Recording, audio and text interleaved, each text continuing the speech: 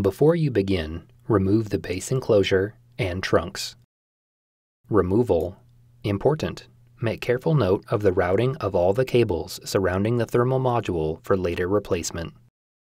Remove the three 4.5mm P1 Phillips head screws that secure the right thermal module bracket over the thermal module.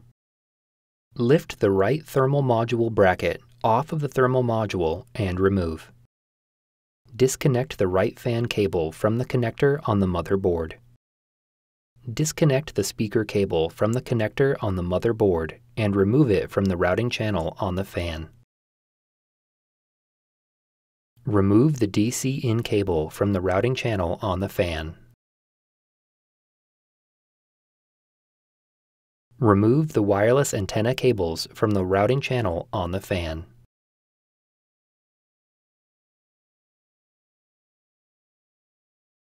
Remove the three 4.5mm P1 Phillips head screws that secure the left thermal module bracket over the thermal module.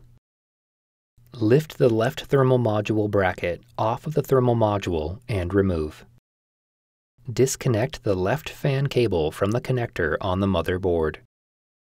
Disconnect the display panel cable from the connector on the motherboard and remove it from the routing channel on the fan.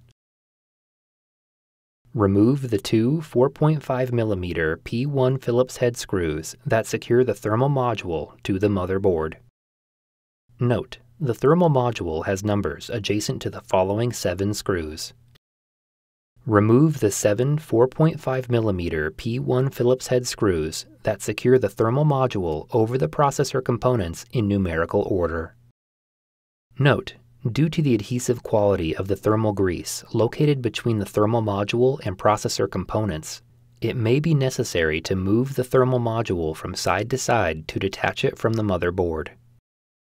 Carefully lift the thermal module off of the motherboard and remove. Note, before replacing the thermal module, the thermal grease should be replaced. The thermal grease should be replaced every time the heatsink is removed.